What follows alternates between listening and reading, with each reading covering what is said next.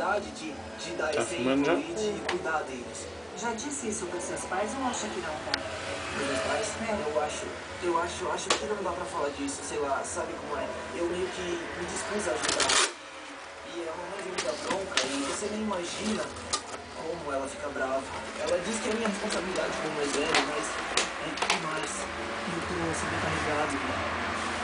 É, eu até cheguei a ficar doente. Ficou doente quando teve enxaqueca, crise de pânico ou estudou tudo na casa do pânico.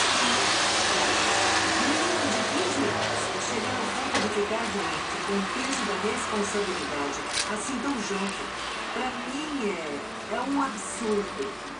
Eu fico pensando em achar outro lugar pra morar, sabe? Eu quero sair daqui, porque eu não devia estar vivendo assim.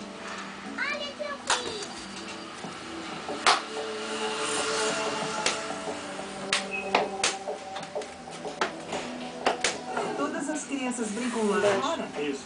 E quem toma conta deles lá fora? Geralmente os mais velhos ficam de olho nos menorzinhos.